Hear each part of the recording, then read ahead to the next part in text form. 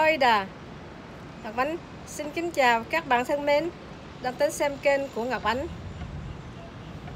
Hôm nay Ngọc Ánh muốn chia sẻ với các bạn những kinh nghiệm về thuê nhà, phòng trọ, hợp tác với công ty Airbnb.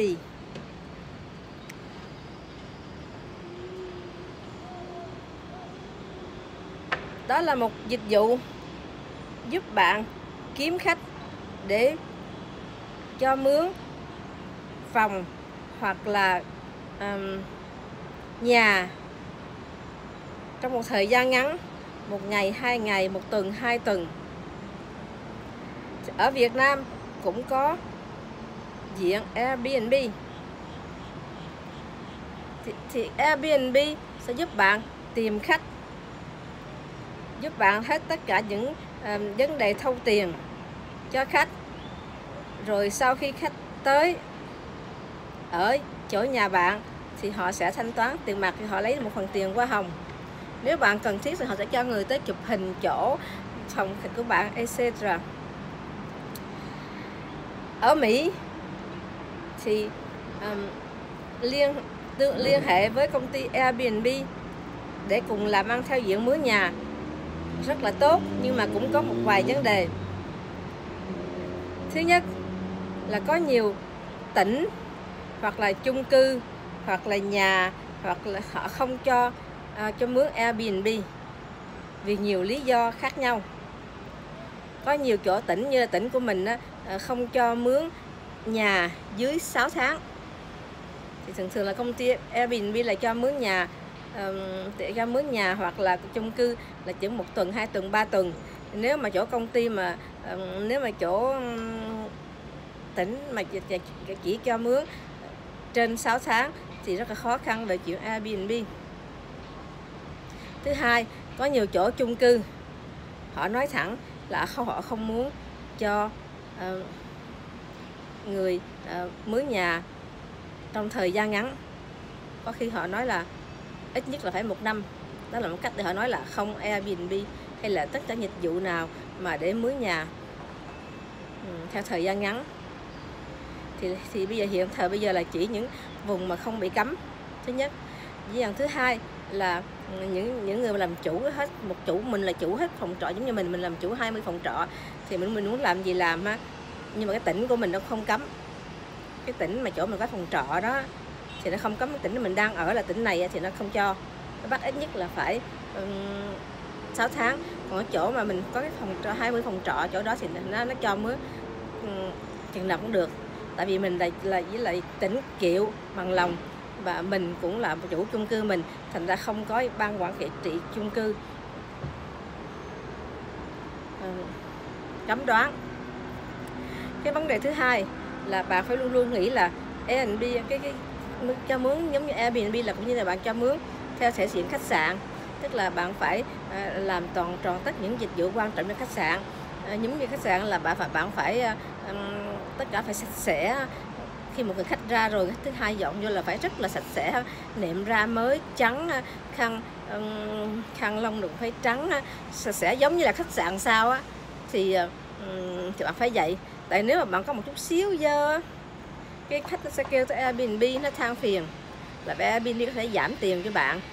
Hoặc là à, khách, khách chưa tới cái chưa tới cái vùng đó. Thì khách ừ, chịu cái giá của Airbnb. Họ tới vùng đó họ nói họ mướn hai tuần.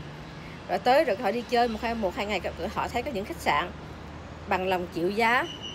Họ thương lượng với khách sạn những cái khách sạn bằng lòng chịu giá ít hơn hoặc là ngang bằng. Nhưng mà khách sạn là thay ra mỗi ngày khách sạn có dịch vụ thay ra mỗi ngày có những khách sạn nó còn cho dịch vụ cho ăn sáng luôn ăn điểm tâm.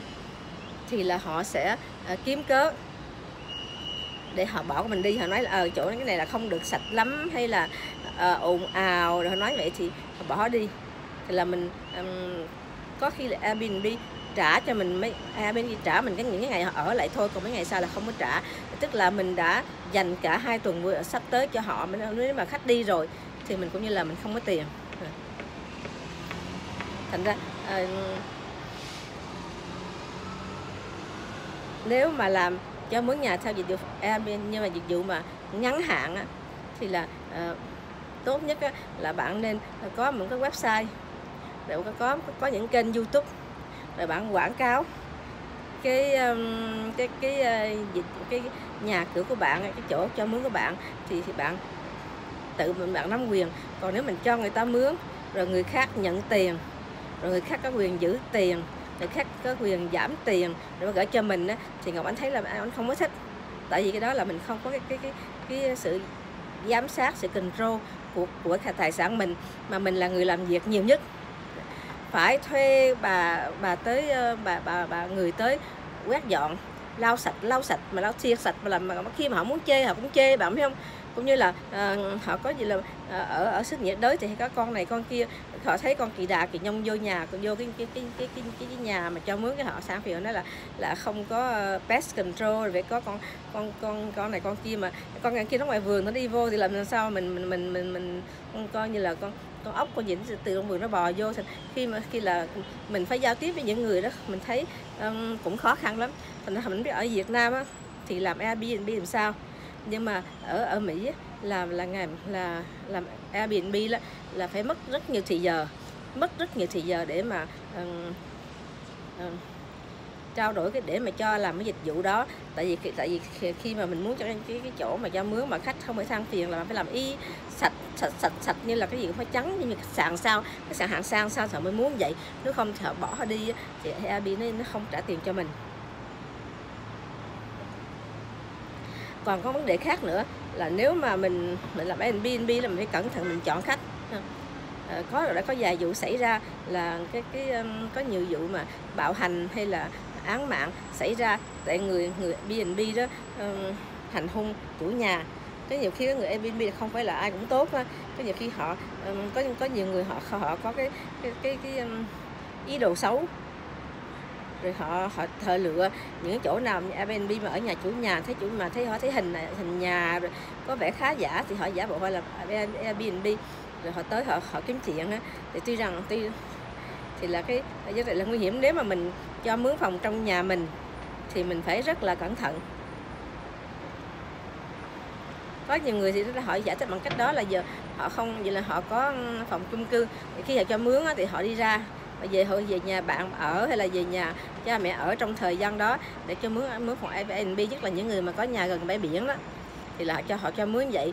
Rồi họ phải chịu khó là mỗi mà cái khách mà cứ hai ba lần hai ba tháng mà hai ba tuần lần là phải phải mua ra mới. Cái cái cái, cái nệm ra trải giường nó phải mới mà tốt. Rồi mua mua gối mới rồi mua mua khăn mới. Tại vì khăn khăn mà nếu chỉ khi nào mà bạn giặt văn khăn trắng là bạn giặt theo. Cái máy công nghiệp thì nó mới là trắng tinh trắng tinh như khách sạn á. Không có một dấu vết nào. Còn nếu mình giặt theo máy giặt của mình thì không có không có được ờ, giống trắng như vậy. Có nhiều khi họ họ mướn nhà của mình rồi rồi cái họ lấy khăn trắng mình hay chùi giày bạn, hay hay là đổ đồ ăn này cái nó dơ. Thì mình là là kể khăn là cái dư bỏ luôn. Thành ra kinh phí đó cũng ờ, mình phải so sánh nếu mà cái, nếu mà bạn rảnh mà không có làm gì mà bạn có một một hai căn phòng, bởi vậy là tự, bạn tự làm hết, tự chăm sóc từng ly từng tí đón khách từ phi trường về đón khách từ phi trường, chào đón rồi ờ, giao thiệp thì là ờ, cho mướn nhà theo kiểu Airbnb là cũng tốt. Ở đây nó có nhiều dịch vụ, ngoài Airbnb nó cũng có nhiều dịch vụ cũng giống giống như Airbnb, nhưng mà luôn luôn là bạn phải Ừ, làm việc là bạn phải làm nhiều lắm và phải chăm sóc cái cái chỗ mình cái chỗ cho mướn là sạch sẽ rồi bạn chào khách rồi bạn tại vì nếu các bạn tới ra phi trường đó mà không ra phi trường mà đón khách đó, cái, cái, cái, cái người khách có nhiều người taxi này kia đó thì họ dỗ khách bạn ơ ông trả đó từng từng đó tiền Airbnb á thì thôi ông trả ông tới khách sạn tôi chở ông cho ông biết cái này đẹp hơn rộng rộng rãi hơn có hồ tắm có có ăn điểm tâm mà còn rẻ hơn hay là bằng giá thành, thành ra à, cạnh ở đây thì nó cạnh tranh nhiều lắm tại vì đây là gần biển mà thấy một dòm qua là biển nè. Thì khách sạn ở đây là rất là đắt rất là đắt giá có khi tới mùa đó à, bà không đặt trước là không có. Thì có nhiều người sống bằng nghề Airbnb. Thì nếu mà bạn chăm sóc kỹ lưỡng bạn chịu khó thì là cho mướn Airbnb cũng là một cách để có, có thu nhập nhiều. Thu nhập nhiều lắm á tại vì tính, tính tiền mỗi đêm như là tiền khách sạn nhiều bạn cho mướn một căn nhà chung cư một phòng bạn cho mướn là là một ngàn rưỡi một tháng. Bạn cho mướn Airbnb 100 là một đêm mới lỡ tháng ba được 3 ngàn. Thì bạn phải à, là cũng có một cái dài thì là cũng cũng là à, chịu khó chịu cực thì lấy nhiều tiền. Đó là giải nghĩa cho bạn nghe là à, mướn cho mướn phòng trọ trọ Airbnb. Airbnb là sao? Chào các bạn. Hẹn lại clip sau. We'll be right back.